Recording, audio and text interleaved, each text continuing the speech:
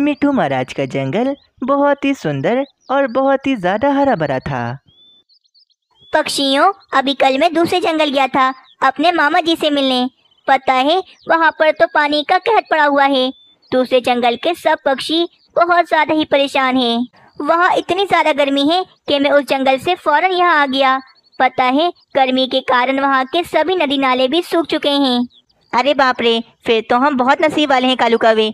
क्योंकि ना तो हमारे जंगल में ज़्यादा गर्मी पड़ती है और ना ही हमारे जंगल की नदियाँ सूखती हैं। हम्म ये बात तो एकदम ठीक है ही हमारा ये जंगल लाखों में एक है। जंगल के सभी पक्षी अपने जंगल से बहुत ज़्यादा खुश थे और आराम से अपना जीवन बसर कर रहे थे। वहीं दूसरी तरफ़ दूसरे जंगल में सब पक्षी गर्मी और पानी के कारण काफ़ी ज़्यादा परेशान थे। मैं तो जब से इस जंगल में आया हूँ कोई सुख नहीं देखा मैंने तो। सिर्फ़ और सिर्फ़ परेशानी ही देखी है। अरे जग्गू पक्षी इस तरह तो ना बोलो अपने जंगल को। पानी का कहत पड़ गया है तो इसमें अपने जंगल की क्या गलती? हमें तो शुक्र करना चाहिए कि इस जंगल में खूनखार चीलों ने कभी शिकार नहीं किया। वरना बाकी जंगलों में तो जाकर देखो आए दिन चीलें जंगल में पक्षियों का शिकार करती ही रहती हैं। नहीं नहीं उल्लू सेठ अब ये जंगल हमारे रहने के काबिल नहीं बचा है। मैं तो अपने परिवार को लेकर इस जंगल को हमेशा हमेशा के लिए छोड़कर चले जाऊँगा। बहुत परेशान कर दिया है इस जंगल ने। आए दिन कोई ना कोई मसला निकल जाता है। मैं तो परेशान आकर रह गया हूँ इस जंगल से। इस जंगल में रहते हुए मेरे बेचारे मासूम बच्चे पानी को तरस रहे हैं। इस बेकार जंगल से मुझे बिल्कुल प्यार नहीं। उन सब पक्षियों की सारी बातें उस जंगल का सरदार बादल सुन रहा था।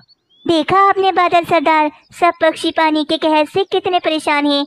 और अब तो ये जंगल छोड़कर जाने की बातें कर रहे हैं। हाँ भाई, मुझे अपने जंगल के पक्षियों को इस हालत में देखकर बहुत ज़्यादा दुख हो रहा है। हमें बादल कुछ करना चाहिए इन पक्षियों के लिए। कैसे भी करके हमें इस जंगल की नहरें पानी से भरनी होंगी, ताकि इस जंगल के पक्षी जंगल को छोड़कर कभी ना जाएँ। परंतु सरदार बादल जी, हम बारिश कैसे कर सकते हैं? हमने तो बिल्कुल भी पानी नहीं पिया हुआ। हम भी काफ़ी समय से प्यासे हैं।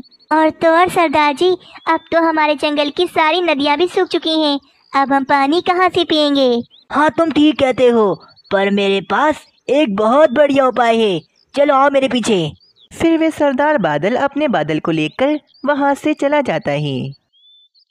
वे सरदार बादल अपने सभी बादलों को लेकर मिठू महाराज के जंगल की नहर के पास आ जाता है। देखो बादलों ये जंगल कितना हरा भरा है और मैं चाहता हूँ कि मेरा जंगल भी इतना हरा भरा हो जाए चलो जल्दी से इस नहर का सारा पानी पी लेते हैं। परंतु सरदार बादल अगर हम इस जंगल की नहर का सारा पानी पी लेंगे तो इस जंगल के पक्षी मुश्किल में आ जाएँगे। मुझे इस जंगल की कोई परवाह नहीं। जो होता है होता रहे। मैं तो अपने जंगल के पक्षियों को परेशान होता हुआ नहीं देख सकता। बस फिर सारे बादल सरदार बादल के कहने पर उस नदी का पानी पीने लगते हैं। तभी नदी के पास से मीनू चिड़िया गुजर रही थी। और मीनू चिड़िया की नज़र उन बादलों पर पड़ जाती है। हाय रे ये तो दूसरे जंगल का सरदार बादल है और ये मिट्टू महाराज से बिना पूछे हमारी नदी का पानी पी रहा है। बाप रे अगर ये बादल ऐसे ही पानी पीते रहे तो हमारी नदी तो जल्द ही सूख जाएगी। मुझे फ़ौरन जाकर ये बात पक्षियों को बतानी चाहिए। मीनू चिड़िया जल्दी से जंगल के सभी पक्षियों को जमा करती है। पक्षियों मैं अभी देख कर आ रही हूँ। दूसरे जंगल का सरदार बादल अपने सभी साथियों के साथ हमारे जंगल की नदी का पानी पी रहे हैं। क्या ऐसा कैसे कर सकते हैं वे बादल? अगर हमारी नदी का सारा पानी सूख गया तो हम पक्षी तो प्यास से ही मर जाएँगे।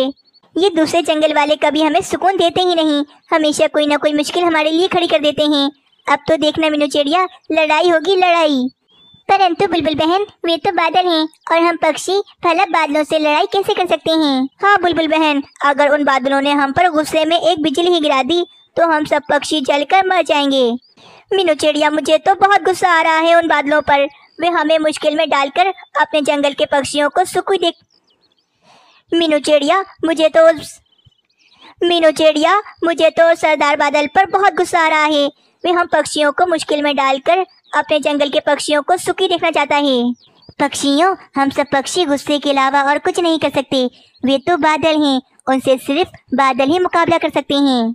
चलो मीनू चिड़िया हम फ़ौरन अपने जंगल के सरदार बादल के पास जाते हैं और जाकर उन्हीं से बात करते हैं अब। फिर जंगल के सारे पक्षी अपने जंगल के बादलों के पास चले जाते हैं। और सारे पक्षी वहाँ पर आकर उन्हें सारी बात बताते हैं। मीनू चिड़िया तुम मुझे उस समय बताती तो मैं उन सारे बादलों को अपने जंगल से बाहर जाने ही नहीं देता। अब तक तो वे सारे बादल अपने जंगल में चले भी गए होंगे। नहीं, सरदार बादल, दूसरे जंगल में कल बारिशें होंगी, इसीलिए हमारे पास आज समय है उन्हें रोकने का। मैं छोड़ूँगा नहीं उन बादलों को। उनकी हिम्मत कैसे हुई कि वे हमारे जंगल का पानी चुराएँ? बादल जाओ और दूसरे जंगल के सभी बादलों को मेरे पास बुला कर लाओ। जी, सरदार जी, मैं अभी जाता हूँ। फिर वे बादल दूसरे जंगल के बादलों के पास चला जाता है। हमें क्यों बुलाया है तुम्हारे सरदार ने? हमसे क्या काम है भला? तुम सब चलो फ़ौरन सरदार को कुछ ज़रूरी बात करनी है। ये कहकर वे बादल वापस चला जाता है। सरदार जी कहीं हमें पानी चोरी करते हुए किसी पक्षी ने तो नहीं देख लिया? और क्या पता हमारी शिकायत लगा दी हो जाकर। हाँ अगर देख लिया है तो क्या हो गया? मैं डरता नहीं हूँ सरदार बादल से। चलो मेरे साथ तुम सब। वे सारे बादल पानी पीकर अब बिल्कुल काले काले हो रहे थे। थोड़ी ही देर में दूसरे जंगल के सभी बादल वहाँ पर आ जाते हैं।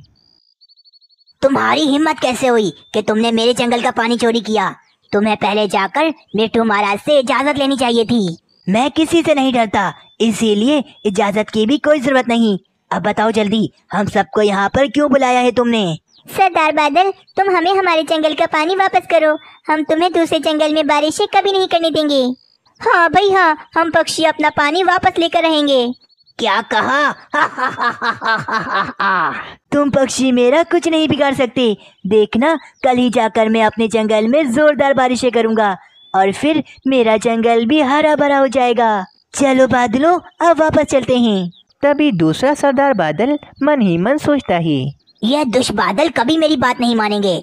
मुझे इन्हें बेवकूफ़ बनाकर इस जंगल में फ़ौरन बारिश करवानी होगी। रुक जाओ बादल मुझसे डर कर कहाँ भाग रहे हो? क्या मुझसे मुकाबला नहीं करोगे?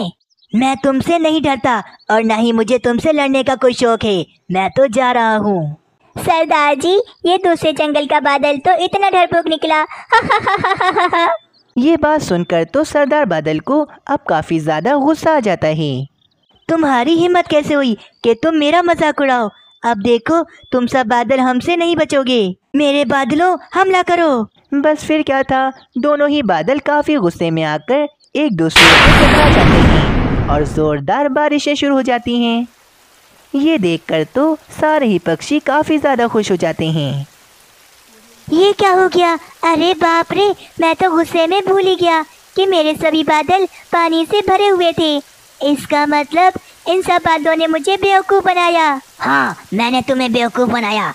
परंतु देखो तो इस बारिश की वजह से सब पक्षी खुशी से पागल हो गए हैं। और तुम इन पक्षियों की खुशी छीनकर अपने पक्षियों को खुश कैसे कर सकते हो? दूसरे जंगल के सरदार बादल को पक्षियों की खुशी देखकर अपनी गलती का एहसास हो जाता है। मुझे माफ़ कर दो यार। मुझे समझ में आ गई है कि दूसरों की खुशियाँ छीन कर खुद भी खुश नहीं रह सकते हम। परंतु अब मैं क्या करूँ? मेरे जंगल का अब क्या होगा? अरे तुम परेशान क्यों होते हो? बारिश खत्म करते ही हमारे जंगल से थोड़े ही दूर पर, पहाड़ों की तरफ़ चले जाना तुम। वहाँ पर एक बड़ी सी नहर है। वहाँ से जाकर तुम्हें जितना पानी पीना हो पी लेना। वह जो नहर है वे किसी भी जंगल की नहीं है। इसीलिए उस नहर से कोई भी पानी पी सकता है। सरदार बादल, तुम्हारा बहुत बहुत शुक्रिया। मुझे सही और गलत समझाने का। बस फिर वे सारे ही बादल आपस में एक दूसरे से दोस्ती कर लेते हैं, और अब सब कुछ ठीक हो जाता है। मीनू चिड़िया बहुत मेहनती थी, इसीलिए मीनू चिड़िया का अपना एक लकड़ियों का व्यापार था। देखो मानो चिड़ी, बस तुम अभी दाल खा लो, चावल मैं तुम्हारे लिए कल बना दूँगी। मम्मा मुझे नहीं खाना खाना, और बस मुझे तो एक लकड़ी का झूला चाहिए। आप बस मुझे लकड़ी का झूला बना दो। हाँ मनो चिड़ी मैं बना दूँगी लकड़ी का झूला। बस अब देखो बरसात का मौसम आने ही वाला है। अब सब पक्षी मुझसे अपना घर बनवाएँगे। उसी जंगल में कालू कौवा भी रहता था। कालू कौवा मीनू चिड़िया के लकड़ियों के कारोबार से काफ़ी ज़्यादा जलता था। बाबा मानो चिड़े ने मुझे बताया है कि अभी बरसात के मौसम में सारे पक्षी मीनू आंटी से अपने घर बनवाएँगे। तो मीनू आंटी के पास तो काफ़ी सारे पैसे आ जाएँगे। और मीनू आंटी मानो चिड़े को एक लकड़ी का झूला बना कर देंगी। आप तो बस रोज़ाना थोड़ा सा भोजन लाते हो। आखिर मेरी ख्वाहिशें कौन पूरी करेगा? अरे अरे मेरे बेटे तुम देखना मैं तुम्हें मीनू चिड़िया से भी ज़्यादा अच्छा झूला बना कर दूँगा। राजू जाओ जाकर पढ़ाई करो। बस तुम हर समय बातों में ही लगे रहते हो। फिर राजू कौवा वहाँ से चला जाता है। कालू जी मैं मीनू चिड़िया से बहुत परेशान हूँ। मीनू चिड़िया हर बार अपने बेटे को कुछ ना कुछ बनाकर देती है तो फिर हमारा राजू कौवा भी हमसे उसी चीज़ को मांगने की बहुत जिद करता है। काश के मीनू चिड़िया ये लकड़ियों का कारोबार ही नहीं कर रही होती। रानी, उस मीनू चिड़िया ने पिछले साल मुझे गंदुम की चोरी पर मिट्टू महाराज से पकड़वा दिया था। मुझे उससे अपना बदला लेना है बस। और मैंने सोच लिया है, मैं इस बार बरसात के मौसम में मीनू चिड़िया का ये लकड़ियों का कारोबार ही चले नहीं दूँगा। मेरे पास बहुत ही बढ़िया बढ़िया उपाय हैं जिससे कोई भी पक्षी मीनू चिड़िया से अपना घर नहीं बनवाएगा। वहीं दूसरी तरफ़ जंगल के सारे पक्षी मीनू चिड़िया के पास आते हैं। मीनू चिड़िया हम पक्षी हर बार की तरह इस बार भी अपना लकड़ियों का मज़बूत घर बनवाने आए हैं यहाँ। हाँ हाँ पक्षियों बहुत अच्छा हुआ कि तुम सब यहाँ आ गए। मुझे तुम सब पक्षियों को कुछ बताना भी था। क्या हुआ मीनू चिड़िया? क्या बात है? बुलबुल बहन पक्षियों इस बार लकड़ियाँ काफ़ी ज़्यादा महँगी हो गई हैं। अगर आप सब चाहें तो दूसरे जंगल जाकर पता भी कर सकते हैं। मैं तो इस बार घर बनाने के थोड़े ज़्यादा पैसे लूँगी। अरे बाप रे बाप! मीनू चिड़िया ये लकड़ियाँ तो दिन ब दिन महँगी होती जा रही हैं। लेकिन घर बनाना भी तो ज़रूरी है ना? ये लो मीनू चिड़िया हम सब पक्षियों के पैसे हैं इसमें। कल से तुम हमारे काम शुरू कर देना। मीनू चिड़िया तो अब काफ़ी ज़्यादा खुश हो जाती है। क्योंकि मीनू चिड़िया के पास काफ़ी ज़्यादा काम आ गया था। अगले दिन कालू कौवे और रानी कौवी ने मिलकर मिट्टी के कुछ घर बना लिए थे।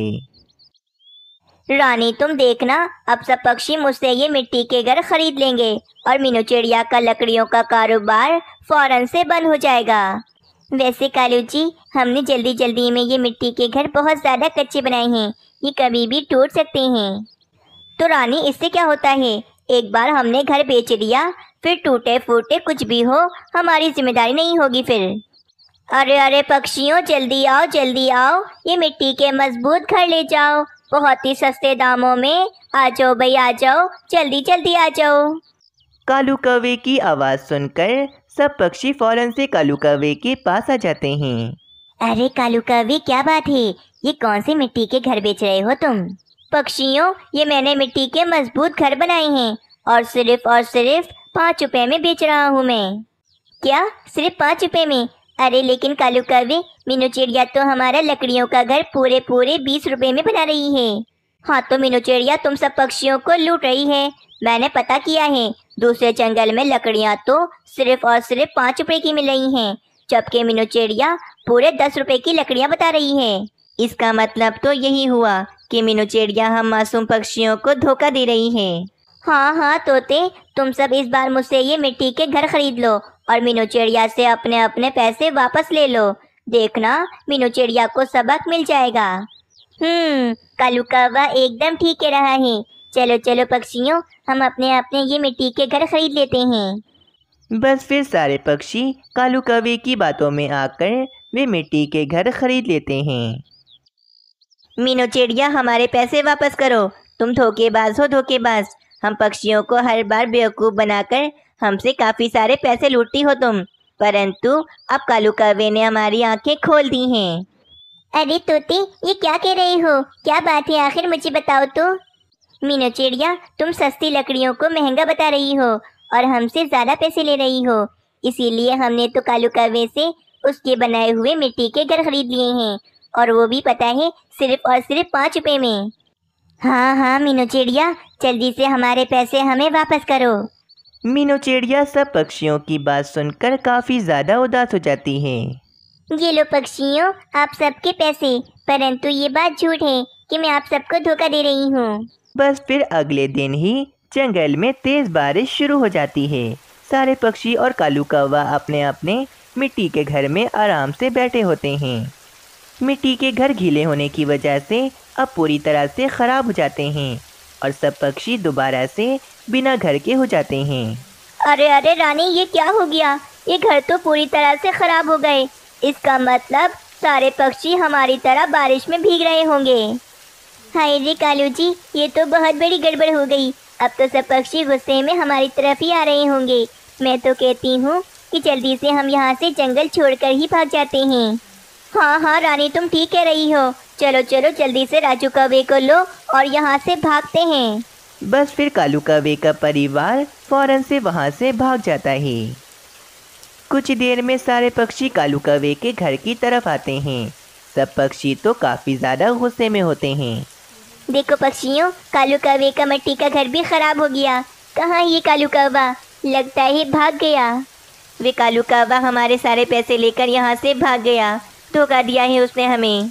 हाँ पक्षियों अगर हमने आज मीनू चिड़िया से लकड़ियों का घर बनवा लिया होता तो आज हम सब पक्षी इस बारिश में नहीं भीग रहे होते। वहीं से मीनू चिड़िया भी जा रही होती है कि तभी पक्षियों को देखकर फ़ौरन से पक्षियों के पास आती है। पक्षियों क्या हो गया? ये बारिश में क्यों भीग रहे हैं आप सब? मीनू चिड़िया हमें माफ़ कर दो। हमने कालू कौवे की बातों में आकर तुम्हें बहुत गलत समझा। और तुम्हारे मज़बूत लकड़ी के घर को छोड़कर कालू कौवे के बेकार मिट्टी के घर को खरीद लिया, जो पानी लगते ही पूरी तरह से ख़राब हो गए। और तो और, कालू कौवा हमारे सारे पैसे लेकर यहाँ से भाग गया। आखिर, अब हम पक्षी जाएँ तो कहाँ जाएँ? पक्षियों, तुम सबने उस कालू कौवे की बातों में आकर मुझ पर भरोसा नहीं किया और मुझे धोखेबाज कहा। लेकिन फिर भी मैं तुम सबको माफ़ करती हूँ। लेकिन हाँ तुम सबको बिल्कुल ठीक सज़ा मिल रही है। कि कालू कौवा तुम सबके पैसे लेकर भाग गया और जहाँ तक बात है घर बनाने की तो अब मेरे पास बिल्कुल भी समय नहीं है, क्योंकि कल मैं दूसरे जंगल उल्लू सेठ का घर बनाने जा रही हूँ, और वो भी पूरे पूरे सौ रुपये में। ये कहकर मीनू चिड़िया वहाँ से चली जाती है, और मीनू चिड़िया को अपनी मेहनत का फल मिल जाता है, और इस तरह सब पक्षियों को अपनी गलती की सज़ा मिल जाती है, और सब पक्षी अपनी गलती पर बहुत ज़्यादा पछता रहे होते हैं।